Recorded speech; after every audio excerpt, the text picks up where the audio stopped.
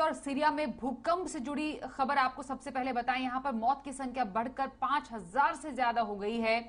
कल आए भूकंप में मौत का आंकड़ा लगातार बढ़ता जा रहा है और तुर्की में कल से अब तक एक के बाद एक, पाँच भूकंप के झटकों से जो शहर है वो दहल गया। भूकंप का असर चार देशों में देखा गया है, जिसमें सीरिया, लेबनान और इसराइल शामिल है।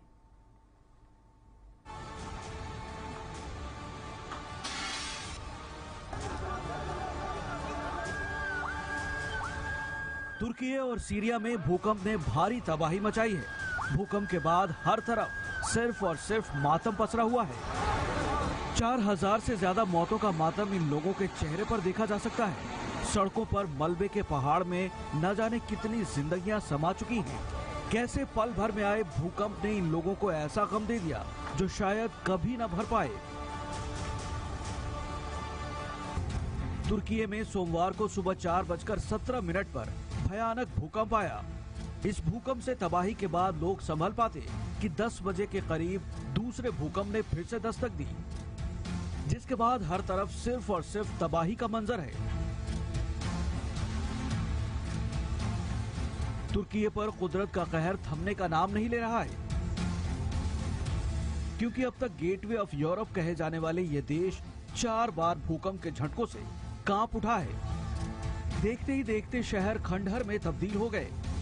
हर तरफ़ बड़ी बड़ी इमारतों का मलबा नज़र आ रहा है। ऊँची ऊँची इमारतें सेकेंडों में धराशायी हो गई। सीरिया का भी हाल कुछ ऐसा ही है। यहाँ तो मलबे के साथ सड़कों पर शव नज़र आ रहे हैं। गाजिया टेप से निकली भूकंप की लहर ने कई शहरों को अपनी चपेट में ले लिया और सीरिया में भी इस भूकंप से देखते देखते कई इमारतें जमींदोज हो गईं। ड्रोन कैमरे से देखिए कैसे एक जीता जागता शहर कंक्रीट के मलबे में तब्दील हो चुका है।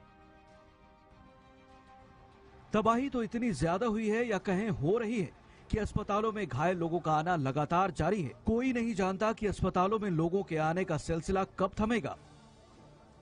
तुर्की मिलिट्री लोगों के रेस्क्यू में तैनात है। फायर फाइटर्स मेडिकल टीम के साथ साथ पैंतीस सौ से ज़्यादा सैनिक लोगों की मदद में जुटे हैं। मिलिट्री एंबुलेंस प्लेन घायलों को अस्पतालों तक पहुँचाने का काम कर रही है। लगभग 40 से ज़्यादा देशों ने तुर्की के लिए मदद का हाथ बढ़ाया है। भारत की ओर से तुर्की को NDRF team, train dog squad team, medical supply की मदद की जा रही है। मलबे को हटाने के लिए ड्रिलिंग मशीन भी तुर्की भेजी गई है। ऑस्ट्रेलिया, न्यूजीलैंड, स्पेन, रूस समेत कई देश तुर्की में मदद भेज रहे हैं। तुर्की से लेकर सीरिया तक मिशन ज़िंदगी चलाया जा रहा है। उम्मीद है जल्द ही रेस्क्यू टीम के सुपर हीरोज इन लोगों की मदद करके इनकी जिंदगियों में राहत ला पाए और जल्द ही तुर्की और सीरिया इस महासंकट से उबर पाए। Bureau report, Zee media.